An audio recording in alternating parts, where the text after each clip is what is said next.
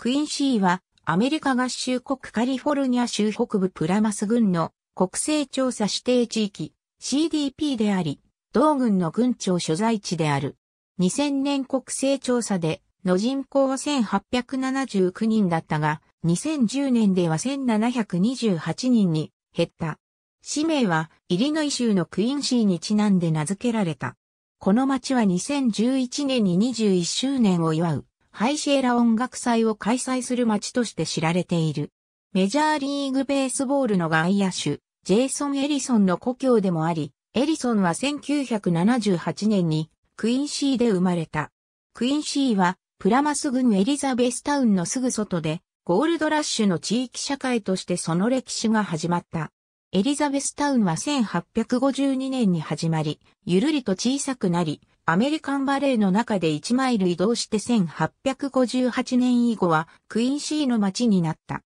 町にはプラマス郡博物館があり、マイドゥ族インディアンやゴールドラッシュ時代の加工品など多くのものを見ることができる。プラマス郡庁舎の背後にある通りに位置している。クインシーから近いケリワイと呼ばれる鉄道の分岐点、鉄道ファンに人気があるクインシーは、北緯39度56分11秒整形120度56分53秒、北緯39.93639度整形120.94806度、39.93639-120.94806に位置する。アメリカ合衆国国勢調査局によれば、地域全面積は41.2平方マイルであり、すべて陸地である。以下は2000年の国勢調査による人口統計データである。クインシーは法人化の動きがあるメジャーな山岳地域社会3つのうちの1つである。他の2つは